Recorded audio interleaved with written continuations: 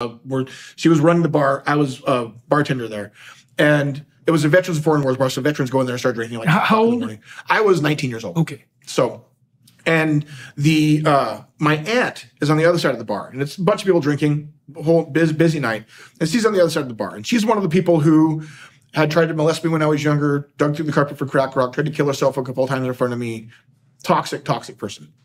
And she's on the other side of the bar, and she's just offhandedly talking. I don't even hear the conversation they're having. All I hear is her say, "Oh, Aaron, you know you love me," and I stopped and said, "No, I don't." And I didn't mean to say that. I, it just came out. I said, no, I don't.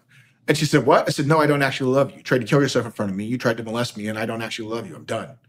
And she started screaming. She blew up and had a big old screaming fit. And to me, it was like white noise. I didn't hear any of it. It just turned into static because it was like an anvil jumped off of my chest, like instantly, just instant release. And I felt so good afterwards that I just walked out like, oh my God, I just, I just did that.